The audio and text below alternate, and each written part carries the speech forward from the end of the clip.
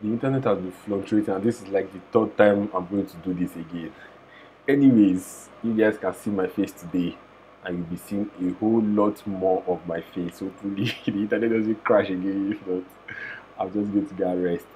But as i was saying this is like part of my whole plan to give you guys more in-depth kind of tutorial discussions while i also give you guys the breakdown or the little breakdown i normally do. So is just like bringing the best of both worlds. So i'll be coming live more frequently for those that want like a detailed step by step on how i did some things. And i'll also still give that general overview for those that just want to know the general workflow of how things were created. So without further ado let's go into why we're here today. From the topic of the live which you can see is parting the red sea blender liquid simulation. So one night I was just thinking, normally liquid are simulated along a curve, but then what if I wanted to like reverse that simulation to make it part instead of attract? And then I just worked one or two things and it came out really nice. So let's go into Blender and let's do something fun.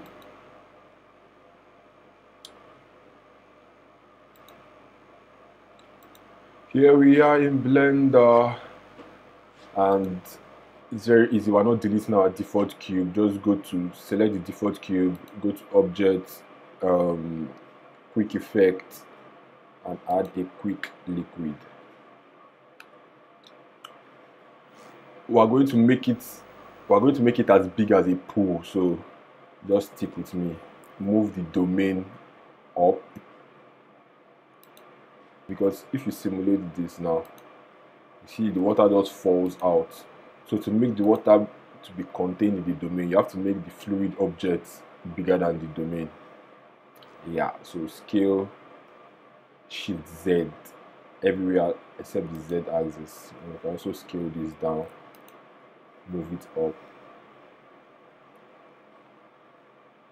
While doing simulations always remember to apply your scale and on a Mac that is command A and then just select scale on Windows you should I don't know what it should be but it should be the equivalent to command A on the Mac anyways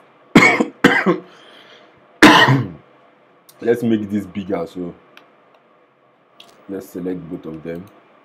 Scale shift Z.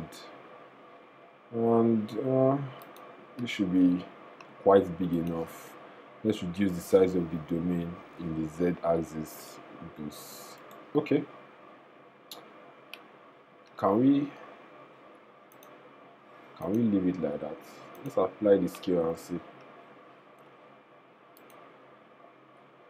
Okay it's looking nice. So as you can see the water is just the fluid simulation is just there. It's not moving because the fluid object is bigger than the domain. So it's just like you poured water into a container basically. That is the simplest definition I could give for that. So what we're trying to do is we're trying to create a path. We're trying to create a path through the middle to divide the water instead of attract the water. So let's get into path creation. Let's add a curve object. Please know that all parts have to be curve objects.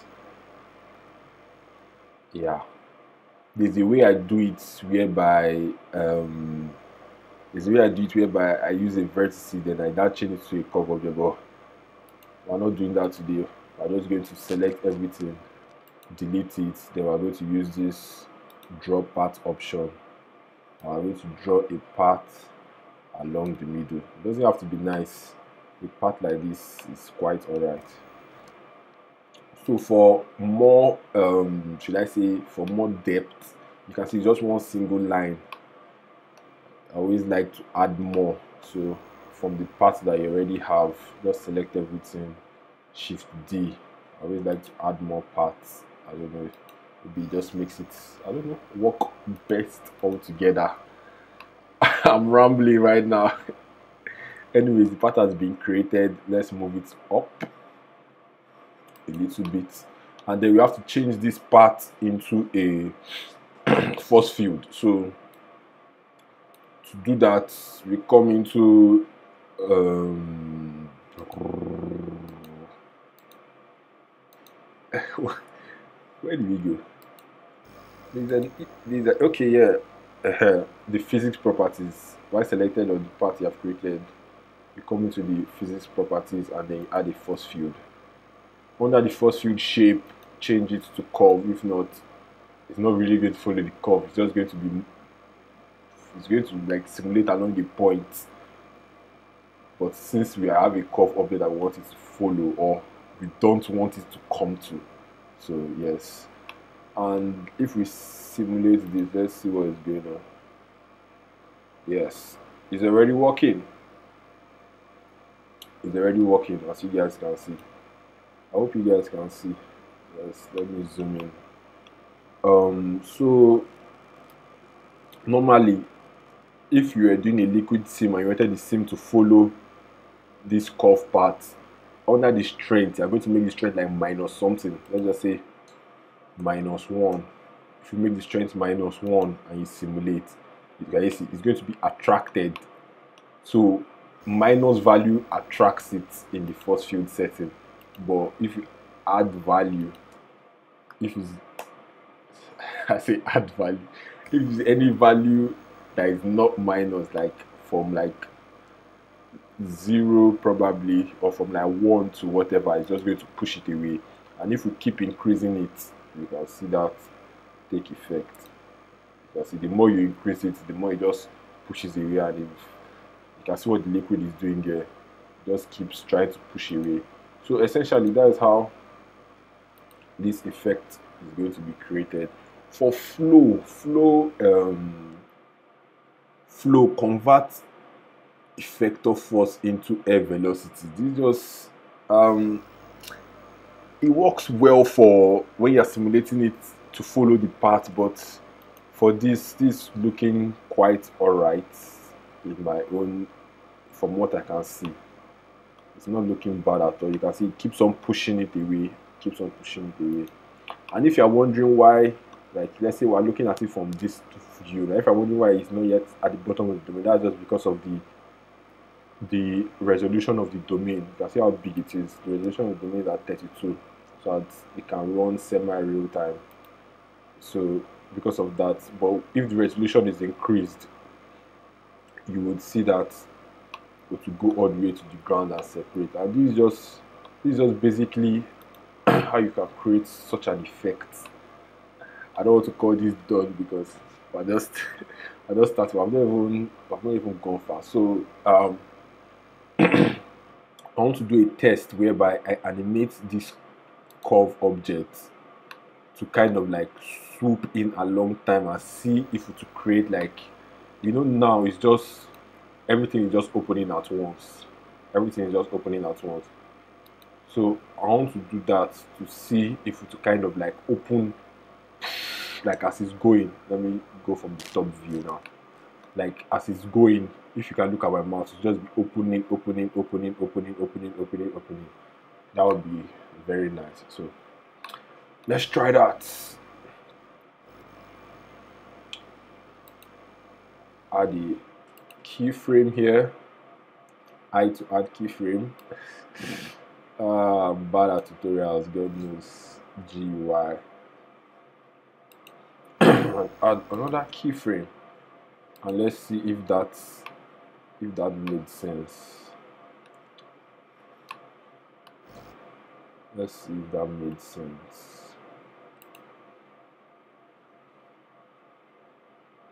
Oh,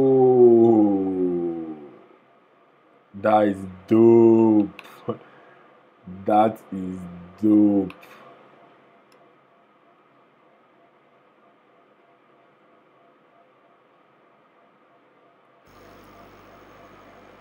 so essentially you guys you guys saw that now you guys saw that. So why it, it, it, it, doesn't look really nice now is because this is a small body of liquid. Imagine if it was longer, how it would have swooped in. You can see how it have swooped in and then after some time it's now normalized and start and start parting start pattern let me increase the let me increase the um, the endpoint let's say 500 and also in the domain let's increase let's increase the end of the simulation in the domain to 500 frames too. So I want to show you guys that after this I want to I want to see that after this move I want to show you guys that as this curved object has taken to a rest then the water just start parting away from it parting away from it. Essentially creating like imagine if Moses raised his hand. Obviously all the water is not just going to raise at once. It's going to go like it's going to open like a like a Bible I don't know if that makes sense. but yeah, it's going to essentially open like that. So let's simulate that and see and see what we get.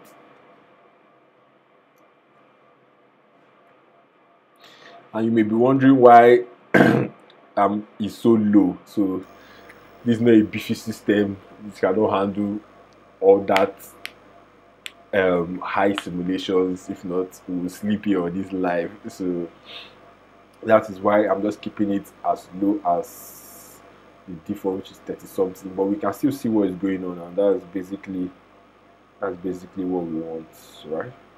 Yeah. So yeah yeah yeah yeah yeah. Let's get it let's get it let's get it.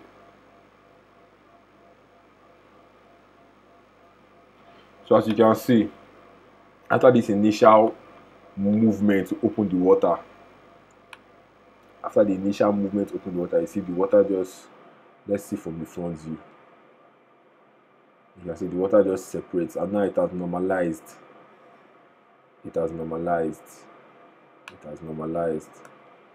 So if the if the if there is more resolution you will see it like it will go all the way down to the floor. So in fact for you guys to see this thing better this of g and y in fact i'm not even mad. If this stream if this internet just decides to mess up at this point i think i've gotten quite far enough so i'll just leave it the way it is. Um apply the scale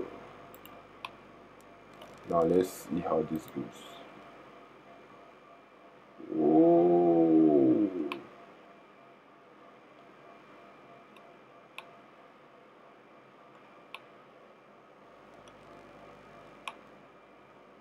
yes this is giving what i want but then we have the resolution is not resolutioning. Let's scale it. Let's scale it to add more body. And let's just add more resolution although that's going to going to make our system cry. Whoa 50 that's much. So let's see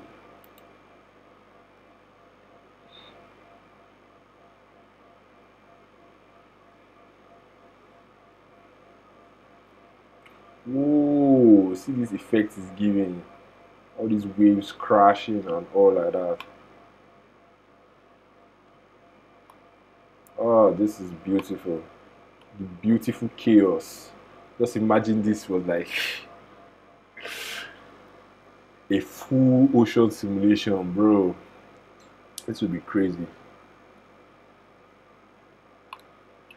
So I have an idea of even like making this into creating a whole scene where I create like a whole environment and a whole ocean and then Moses kind of raising his hand. But any of you watching this video you want to steal that idea, you are permitted to steal it. I give you the permit I give you the authority to steal such a beautiful idea.